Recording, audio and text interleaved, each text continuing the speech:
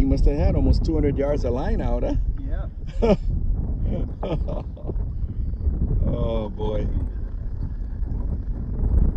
Every now and then guide guide your line, yeah. Make sure the line goes on straight. Some guys they tilt the rod to one side and then the line piles up on one side, yeah.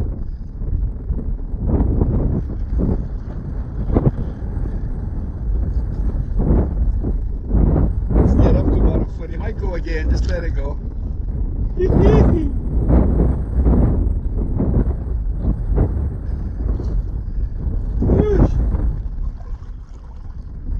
get up to about a foot from the tippet and slap and then what you do is you get it up close and then walk forward, grab the tippet and then I can grab the rod, you can grab the one hand on the tail and hand under the chin, yeah.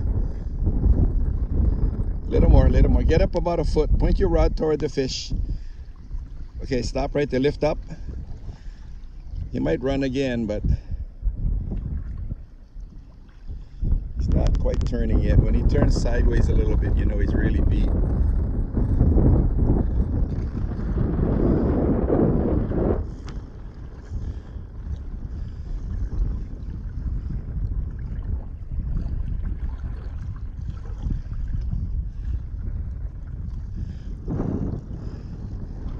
Get your rod up high, but not straight up. Okay, couple more cranks.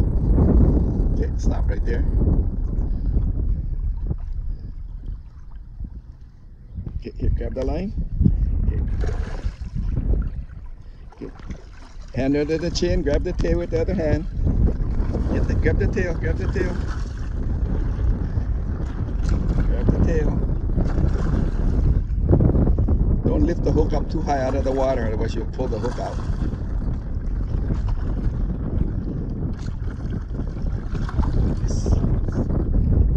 Grab the fish if you can.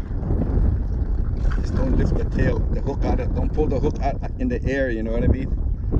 Yeah, we work hard for that one, man. Give me a smile, huh?